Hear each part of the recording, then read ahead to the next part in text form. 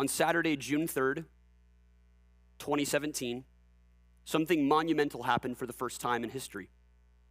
Alex Honnold summited Yosemite's El Capitan. But you may say, what's so great about that? Many people have summited that mountain before, so who cares? Alex Honnold was the first ever to climb the face of a mountain without the use of a rope or any safety gear, something in the climbing world known as free soloing. As some say, Honnold's triumph of El Capitan is the moon landing of free soloing. El Capitan is considered by many to be the epicenter of the rock climbing world. It is a vertical expanse reaching nearly half a mile, almost 3,000 feet in elevation. It is higher than the world's tallest building, the Burj Khalifa in Dubai. The face of the mountain that Honnold ascended and summited is a zigzaggy odyssey that traces several spidery networks of cracks and fissures, some gaping, others barely a knuckle wide. Along the way, Honnold squeezed his body into narrow chimneys, tiptoed across ledges the width of a matchbox, and in some places, dangled in the open air by just his fingertips. Alex Honnold summited the peak in three hours and 56 minutes, and at 9:28 a.m. under a blue sky and a few wisps of clouds, he pulled his body over the rocky lip of the summit and stood on a sandy ledge overlooking the valley, the size of a child's bedroom. El Capitan had been summited, free soloed, and unaided by Alex Honnold. This evening, in 2 Samuel 7, we arrive at the El Capitan of the Old Testament, this text. But unlike Alex Honnold, friends, listen closely, King David has not free soloed this mountain unaided, for God has tethered David to the rope of his covenantal promises. And we will see that very clearly in the text tonight. I want to show you four movements in this text. You'll notice the, the most of it is a conversation. So it's not war and battle and narrative. It actually stops and we behold a conversation happening between our two main characters in this story, namely God and David. Here's the first of those movements. I want you to see in verses 1 through 3 David's concern for God's house. David's concern for God's house. Look back at verse 1. Notice this language. Now, when the king lived in his house, and the Lord, notice this, had given him rest from all of his surrounding enemies. The king said to Nathan the prophet, See now, I dwell in a house of cedar, but the ark of God dwells in a tent. And Nathan said to the king, Go do all that is in your heart, for the Lord is with you. We're told here in this text that the king is living in his house. Notice that. And the Lord has given him rest from who? All of his surrounding enemies. If you remember in 2 Samuel 5, David casted out evil in Jerusalem, this, this high place, this stronghold, this city that will become the city of God. He casts out evil from the city of God in the Jebusites, and he conquers the stronghold of Jerusalem. Jerusalem happens to be on the border of the northern and southern tribes, and it also happens to be on the border of the eastern and the western tribes. What does that mean? It means Jerusalem's a central place. It's a centralized place where, notice, the king now rules and reigns. And David isn't only the king of a centralized place, but he is uh, the king of a centralized people. If you remember in chapter 2, I preached it several months ago, David becomes king of Judah. And then a few chapters ago, you saw that David now has become king over Israel. So all of the 12 tribes have been unified in a centralized city of God type place by a king who's ruling and reigning and now resting. Are you seeing that? He hasn't only unified a people in a central place, but don't miss this. He's regathered the people around the worship of God. 2 Samuel chapter 6, what happens? He brings the Ark of the Covenant from outside the city into the city. And not just anywhere in the city, he brings it into the center of the city. Why? Because he's recentralizing God's people around the worship of God. Do you see what the text is making clear in just the first verse? David is being depicted as a new Adam, and Jerusalem is being depicted as a new Eden. J- just think about it. Where Adam's evil cast them out of Eden, David will cast out evil in the Jebusites and bring God's people back into Eden. Where Adam's sin eventually divides the nation, David unites the nation and brings them back. Where Adam forfeited his priestly role in the garden, David assumes that priestly role by wearing an ephod and dancing and bringing the presence of God back into the center of the city. And he consecrates it. Where Adam's abuse of a tree kicks them out of the garden, David now lives and reigns in a mansion made of trees. He lives in a house of cedar. Now, one would think that with all of the accomplishment that is evident here in just the first couple verses, that David would have every reason to rest. I mean, the man has done a lot for the nation. And what do we see often in our culture today, friends? We often see that immense accomplishments often give birth to intense apathy. Accomplishment, a lot of it, often gives birth to apathy. What do we do? We look to make a lot of money. Why? So that we can retire and vacation. We desire to amass a lot of things. Why? So that we can play with our toys. Children play with toys, adults play with toys. It's all the same thing. We do what the fool does in Luke 12 when, after we've amassed ample goods for ourselves, what do we say to ourselves in our hearts? Relax, eat, drink, and be merry. And God comes to that fool and says, Fool, tonight your soul is required of you. Like Alex Honnold, who summited the greatest feat in climbing and yet doesn't rest, King David also has summited the greatest feat in his kingship and yet does not rest. David has mastered a feat that none before him have, but there's something still missing. Look at verse 2. Look at verse 2 in 2 Samuel 7. The king said to Nathan the prophet, See now, I dwell in a house of cedar, but the ark of God dwells in a tent. And Nathan said to the king, Go do all that is in your heart, for the Lord is with you. David is concerned for God's house, for he lives in a mansion while the ark of God dwells in a tent. But he doesn't get too far into this blueprint. He hatches a plan to build the Lord a house, but he, he doesn't get super far into the blueprint before the Lord meets with Nathan and interrupts the plan. Here's where we see our second movement in the text. We saw David's concern for God's house. Now I want you to see God's correction of David's plan in verses 4 through 7. God's correction of David's plan. Look at your Bible at verse 4. But that same night, the word of the Lord came to Nathan Go and tell my servant David, Thus says the Lord, Would you build me a house to dwell in? I have not lived in a house since the day I brought up the people of Israel from Egypt. Think think the connections here to Moses, connections to the Exodus in the, in the tabernacle. He says, To this day, but I have been moving about in a tent for my dwelling. Verse 7 In all places where I have moved with all the people of Israel. That, that same language there, moved with all the people of Israel, is the same exact language that we see in Genesis 1 and 2 when God was moving about. Genesis 3, when God was moving about in the cool of the day of the garden. Did I speak a word with any of the kings of Israel? any of the judges of Israel, with whom I commanded to shepherd my people Israel, saying, Why have you not built me a house of cedar? God comes to correct David's plan. Friends, when I was a little boy in church, my dad used to give me $10 to put in the offering plate. It was his money, but I put it in the plate. And as big of a deal as I felt putting my dad's money in the offering plate for the church, it wasn't my money, it was my dad's. And my dad, I just can imagine, thought to himself, That's really cute, son. That's really cute. I imagine God looking at David's desire here in this text to build him a house in the same way.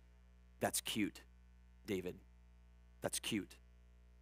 God says in the text, Would you build me a house to dwell in? Friends, God isn't asking a question to David he's making a statement. The, the Lord built the cosmos. He cannot be housed. He owns the cattle on a thousand hills. In fact, Isaiah 66, 1 through 2 says this Thus says the Lord, this is so good, heaven is my throne, and the earth is my footstool. What is, notice that word, the house that you would build for me, and what is the, notice that, place of my what? Rest. All these things my hand has made, and so all these things came to be, declares the Lord. God says, I'll build a house for my name. Don't you worry. I'm going to build it. But you're not going to build it for me, David. I'm going to build it through you. God says, I didn't choose those shepherds. Notice in the text, verse 7, the judges. I didn't choose those shepherds. I chose this shepherd from the house of Jesse, who will one day bring along the good shepherd from his lineage. Uh, continuing on, friends, with this shepherd imagery, let's look at our third movement in the text. And this is where I want to kind of anchor down for a little bit. Here's the third thing we see God's covenant for David's house. From verses 8 to 16, we see very clearly God's covenant for David's house. Look at verse 8. Now, therefore, thus you shall say to my servant David, Thus says the Lord of hosts. Notice this language I took you from the pasture, from following the sheep, that you should be, notice that word, prince over my people Israel. And I have been with you wherever you went as a prince and as a prince, I cut off all your enemies from before you. Uh, friends, notice how the prince has brought peace peace in Jerusalem, peace by the work of his God, uh, foreshadowing the true Prince of Peace that will come from his lineage. Continuing on, and I will make for you a great name, like the name of the great ones of the earth. And I will appoint a place for my people Israel, and I will plant them, so that they may dwell in their own place and be disturbed no more and violent men shall afflict them no more as formerly, from the time that I appointed judges over my people Israel. And I will give you rest from all your enemies. Moreover, the Lord declares to you that the Lord will make you a house. When your days are fulfilled and you lie down with your fathers, I will raise up your offspring after you, who shall come from your body, and I will establish his kingdom. He shall build a house for my name, and I will establish the throne of his kingdom forever. I will be to him a father, and he shall be to me a son. When he commits iniquity, I will discipline him with the rod of men, with the stripes of the sons of men. But my steadfast love will not depart from him, as I took it from Saul, whom I put away from before you. And your house and your kingdom shall be made sure forever before me. Your throne shall be established forever. In accordance with all these words and in accordance with all this vision, Nathan spoke to David. We've now arrived at the summit of El Capitan, where we will turn around to behold the views of God's providence and covenantal promises to and through David. But as David reaches the summit, notice verse 9. As David reaches the summit, we remember he hasn't free soloed this mountain, for God has been with him.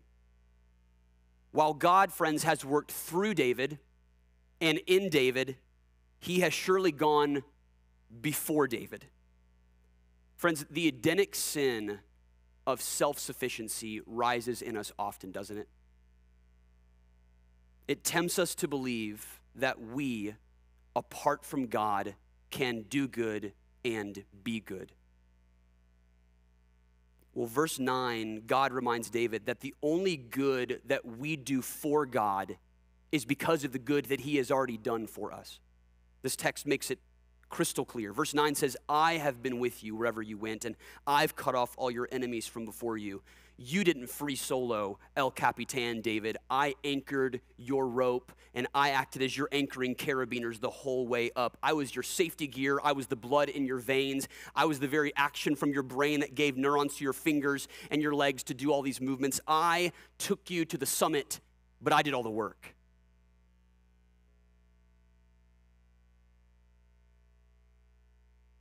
I want to look at three promises that God makes to David in this covenant. Three promises. We'll, we'll look at them as kind of anchoring carabiners in the wall as David climbed. That God has given to David as he's summited El Capitan. Here's the first one God promises David a great name and a restful place. God promises David a great name and a restful place. We see that in verses 9b through 11a. Look at verse 9 halfway through the verse. God says, I will make for you a great name, like the names of the great ones of the earth. Uh, friends, this language in the text connects David to who? To Abraham. The, the Davidic covenant is connected here to the Abrahamic covenant in that God promises Abraham that he will make his name great. Let's go back there and read together Genesis 12, 1 and 2. Now the Lord said to Abram, Go from your country and your kindred and your father's house to the land that I will show you, and I will make of you a great nation, and I will bless you and make your name great, so that you will be a blessing. From Abraham's families, we're told that all of the families of the earth will be blessed. And the author here in 2 Samuel is connecting the promise given to Abraham through the promise given to David, which will then give to all the peoples of the earth. So, so he's connecting Genesis 12 and 15 to 2 Samuel 7 here in this text. And, and yet, friends, it isn't just a name, it's a place. So we must ask what's the connection between the great name that we see in this covenant and the great um, place? Well, look at the text. Look at verse 10. What, God, what does God say in verse 10? He says, I will appoint a place for my people Israel, and I will plant them. Notice place, plant. Then in verse 11, he says that this place of planting will be a place of rest. Notice this, cue in on this. A place where God's people are planted, and that in that place there is rest. The author is drawing us to Eden again it's Eden. So, so catch this. God is connecting David to Eden. He's done it already through Adam. Here he's doing it through Abraham, but he won't just do it through Adam and Abraham. He will do it as well through Moses and Joshua too. We're going to see in just a second. Um, as I was studying, I found out this is this is kind of a way that you can view the covenant. Okay, God has promised these things to, you know, the proto-evangelium, Genesis 3, you have, you have uh, uh, Noah, you have Abraham, and they kind of just filter like sand in an hourglass, and they come to this focal point in the middle. We're going to treat that focal point as the Davidic covenant. The Davidic covenant is going to be the answer to all of these covenants that have been promised before that will focalize in David and then empty out into all of the families of the earth. That, that's how, a way we can see what's happening here in this text. Look at verse 11b. Moreover, the Lord declares to you that the Lord will make you a house. A house. This is the exact same language that we see in Deuteronomy chapter 12. It's on the screen if you want to look. Here's what Moses says But when you go over the Jordan, when you go over the Jordan, think Joshua. Think the book of Joshua. When you go over the Jordan, and, and then he says, and live in the land, think the promised land that the Lord your God is giving you to inherit. And when he gives you, notice it there in the text, rest from all of your enemies. Think, think, think first verse of this text, 2 Samuel chapter 7, verse 1. The Lord is in his house and he's ruling and he's reigning and his people have rest. It's the same thing. So that you live in safety. Verse 10, 2 Samuel verse 10. Think about safety. Violent men won't afflict them any longer. Then to the place, verse 11. David has reconquered the high place in Jerusalem and has reinstituted and reconsecrated it as a new Eden to the place that the Lord your God will choose to make his, notice it there again, his name dwell there. That you shall bring all that I command you, your burnt offerings and your sacrifices. 2 Samuel 6, right? David and the people are bringing in the uh, Ark of the Covenant. David's wearing the ephod, he's dancing. They stop and they're marching every six steps. They stop and they sacrifice. Why? To commemorate what God did in Eden. To commemorate to consecrate. All of it's coming right back here, guys, in Deuteronomy 12. David is the fulfillment of all that's promised here in Deuteronomy 12. He brings it to the center of the city and they consecrate Eden once again to God. So David is not only connected to Adam and Abraham, but he's also connected to Moses and Joshua as the fulfillment of the Exodus conquest. Moses is raised up as a priest king like figure to exodus God's people to a promised place but he fails to get there himself.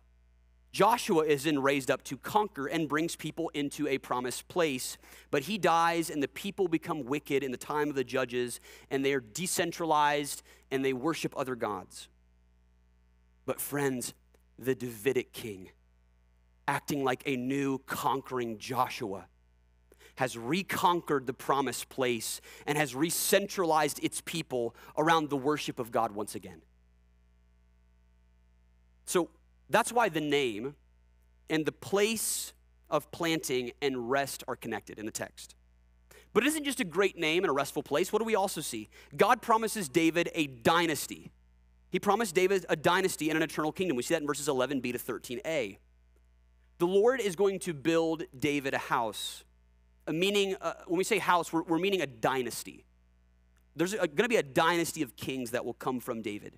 Go with me to the second half of verse 11 in 2 Samuel 7. When your days are fulfilled and you lie down with your fathers, I will raise up your offspring after you, who shall come from your body, and I will establish his kingdom. He shall build a house for my name. So we're told that David is going to have a house. But the way that David will have this house is through his offspring. David is promised a house or a temple, but he will not build that house or temple. Solomon will actually build the temple, but it's imperfect because in the Babylonian exile, that temple is going to be destroyed. And so this is it's foreshadowing to us a better son of David who will establish a temple in himself, a, a temple of which God's spirit will dwell. Then he will impart that into his other temples, those who believe in him. So the temple's destroyed, but then centuries later, through an announcement given to Mary in a little town called Bethlehem, there is an announcement of a new son of David, one who will come and this son of David says, Destroy this temple, speaking about his own body, and I'll raise it up in three days. God doesn't just promise a place or a house or a kingdom. Thirdly, we see this God promises David an everlasting throne of authority. God promises David a throne of everlasting authority. Verses 13b through 16. What do we see? Look at verse second half of verse 13. I will establish, God says, a throne. When you, when you see throne, think authority. Think authority. I will establish the authority, the throne of his kingdom, notice forever. And I will be to him a father, and he shall be to me a son. When he commits iniquity, I will discipline him with the rod of men, with the stripes of the sons of men. Uh, friends, just immediately, th- this is something called telescoping, where God will kind of foreshadow something to come, but he will give someone that's kind of a shorter fulfillment of that. That's what's happening in all these covenants, but, but they'll fail. And so the telescoping image here we get is David's son Solomon. Solomon will commit iniquity. Solomon will be punished, although he will build the temple where God's presence will dwell, he will fail. Let's keep reading. Verse 15 And my steadfast love will not depart from him as I took it from Saul. Speaking of Solomon's offspring whom I put away from before you. And your house and your kingdom shall be made sure forever before me. Your throne shall be established forever. In accordance with all these words and in accordance with all this vision, Nathan spoke to David. Solomon, God's servant, will suffer because of his own sin, and he will die. But Jesus Christ, the true suffering servant, won't suffer because of his sin, but because of ours. And he too will suffer and die. But he will not die and stay dead. He will raise, but by his death, he will establish a kingdom and a throne forever. Forever. Jesus says, I, was, I came across this verse this week and I, and I saw it in a new light. John 12, 24, it's gonna be on the screen. Jesus says this, speaking about himself Very truly, I tell you, unless a kernel of wheat speaking about himself, falls to the ground and dies. It remains only a single seed, but if it dies, it produces many seeds. Friends, the promised seed must fall, must come to the earth, taking on human form. He must suffer and die, and by his death, produce life in many other seeds who believe and trust in him for salvation. Friends, this is the gospel, and it's all over this text. David reestablishes a new Eden once again. Jesus will gain for us a better Eden once and for always. David reigns in an earthly city where God's presence dwells, but Jesus will reign forever in a heavenly city where we literally sang about it tonight. His very presence will be our light. David will die, or excuse me, David conquers his enemies for a time. Jesus will conquer his enemies forever. Sin, death, and Satan, they will have no victory with Jesus. David will die without building the temple of God. Jesus will die as the temple of God, and his people will be made into a living temple by God's Spirit. David brought his people into a place of temporary rest. Jesus will bring his people to a place of eternal rest, and he will himself be their rest. David establishes his kingdom living in a house of trees. Jesus will establish his kingdom by dying on a tree. David dies not seeing the offspring who will defeat sin and death. Jesus dies as this offspring, defeating sin and death. David is made a prince by God who brings temporary peace to his suffering people. Jesus is going to be the true prince of peace, bringing ultimate peace by suffering for his people. David sits on a throne temporarily and is given the promise of a throne. Jesus sits on the throne eternally and is himself the fulfillment of the throne. Friends, there was a seed promised in Genesis 3:15 who would crush the head of the serpent, but it wasn't Adam and it wasn't Cain, and it wasn't Noah, and it wasn't Abraham, and it wasn't Moses, and it wasn't any of these people, it wasn't even David. This promised seed that will crush the serpent's head is Jesus, who suffered and died on the cross and rose so that all who would put their faith and trust in him would have life.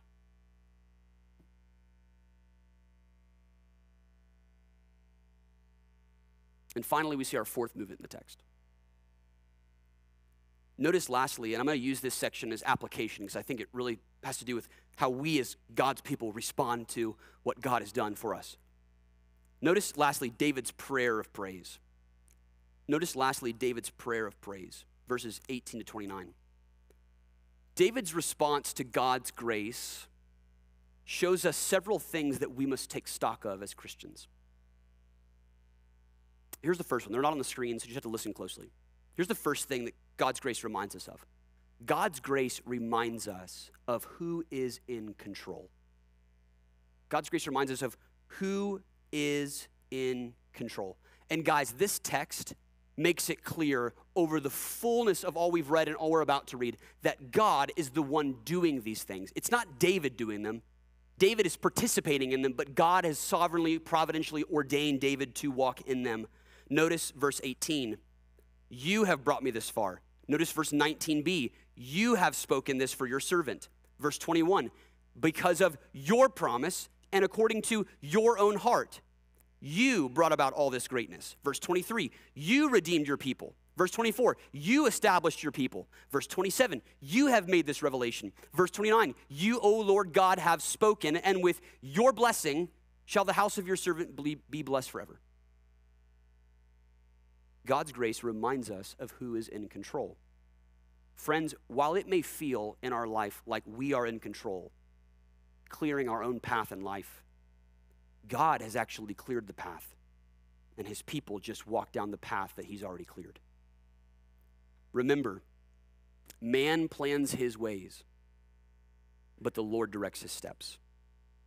And we're also reminded in this text, and it is abundantly clear, that God's grace is motivated by God's glory. God's grace, what he does in creation and in eternity, is motivated by his own glory. Guys, God didn't do this in David's life because David is awesome.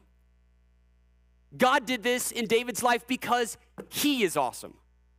He did it for his own glory, he did it for his own name. Number three, God's grace should drive us to adoration. God's grace should drive us to adoration. Look at verses 22 through 24. Therefore, David says, You are great, O Lord, for there is none like you, and there is no God beside you. According to all that we have heard with our ears, and, and who is like your people Israel? The one nation of earth whom God went to redeem to be his people, making himself a name and doing for them great and awesome things by driving out before your people, whom you redeemed for yourself from Egypt, a nation and its gods. And you established for yourself your people Israel to be your people forever, and you, O Lord God, became their God. Guys, this text reminds us that God is God and we are not. Our attempts to free solo the mountain failed 10 times out of 10, and yet God has kept us by his grace. God's graciousness is part of his greatness. David makes that very clear to us in this text. Notice, fourthly, God's grace should do what? Should drive us to pray. God's grace should drive us to prayer. We see that all over verses 18 through 29, but look at verses 27 specifically. Verse 27 For you, O Lord of hosts, Jake, uh, David says, the God of Israel, have made this revelation to your servant, saying, I will build you a house. Therefore, your servant has found courage to pray this prayer to you. Notice that when David recognizes God's gracious promise, he is driven to pray to this great God. And notice verse 25 about what David prays and how he prays. Look at verse 25. David says, Confirm forever the word that you have spoken. Concern the word that you have spoken concerning your servant and his house. And notice at the very end, and do as you have spoken. Friends, we need to pray like David does in this text. Notice that David prays for God's will to be done. He prays for God's will to be done. It reminds me, to some extent, of how Jesus prays in the Sermon on the Mount. What does he say? Father, your kingdom come, your will be done. We need to pray like David and Jesus. We need to pray for God's will to be done. I don't even know what number I'm on. Five, maybe? I don't know. There's so much here. There's so much here, guys. This was so fun this week to study this, okay? God's grace should reinforce our trust. God's grace should reinforce our trust. Verse 28. Notice verse 28. David says, Your words are true. Those four words are some powerful words in this text. Guys, if God has said it, God will do it. We can take that to the bank. We can trust his promises are true and his word is sure a hundred times out of a hundred. This text starts with David's plan to build God a house, but in the eternal counsel of God's wisdom, he had a better plan to build David a house. Friends, listen, this is why, this is why it's okay when God doesn't do what we think he should. This text makes it clear it is okay when God does not answer our prayer requests like we request them. Texts like this remind us that if you think that you have a good plan for your life, God has a better one. Who could have thought this? Who could have contrived this? Who could have knit this and woven this together if not our great God? Remember, David didn't free solo. He has been tethered and brought to the summit by the grace of God. And God's grace to David should anchor and reinforce our trust and our dependence in him. And here's the last thing I want to show you. I think it's six. I don't know. Just write, write it down if you want to. God's grace should always elicit gratitude and humility. I mean, when you're looking at that section where God's promising all this covenant to David, I can just imagine being David and sitting there before Nathan and, and hearing all of these things said to you. Where you had this great aspiration to build God a house, he comes back and hits you with the reply and says, No, David, you're not going to build me a house. I'm going to build you a house. And here's how I'm going to do it. I can just imagine being David, so minuscule and small in the grand scheme of things, and just sitting back and beholding all of these promises to him and thinking, what? Gratitude and humility. Friends, David has the same reaction that any of us in this room should have. Look at verse 18. Who am I, O Lord God? And what is my house that you have brought me thus far? It's like what Ruth says. We just looked at it this past Wednesday when she says, Why have you taken notice of me since I'm a foreigner? It's like what Abraham says when he said, Lord, I am just dust and ashes. It's like Isaiah in chapter 6 when he says, I am a man of unclean lips and I live amongst a people of unclean lips. David here in verse 18 says, Who am I, O Lord God? And what is my house? That you have brought me this far. Friends, this should always be our response to God's graciousness in our life. Friends, when you find yourself by grace, if you're in Christ, when you find yourself by grace at the summit of El Capitan, looking back across the valley of God's providence and promises, and looking over the cliff to see what the Lord has brought you up, what do you do? What can you say? You say what David says in verse 18 Who am I, O Lord God? And what is my house that you have brought me thus far?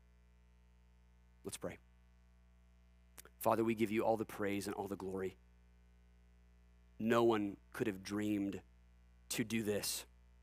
No one, as they turn around on the summit of El Capitan, can look back and contrive how you providentially and sovereignly navigated David to this point how when he was laboring away in caves and when he was the Lord's anointed and when he was waiting for his time to, to rule and he was being faithful and he was, he, was, he was literally out in the wilderness and then he becomes king not just of Judah but, but king of Israel and, and, and how righteously he acts, Lord. And we come to this place where we see the focal point of the hourglass. How could, Lord, anybody else but you, oh great God, contrive this plan? And write your scripture in this way. Father, we give you all the praise and all the glory. For who are we, O Lord God, and what is our house that you have given this grace to us? Father, we love you. We pray all this in the mighty, matchless name of Jesus. Amen.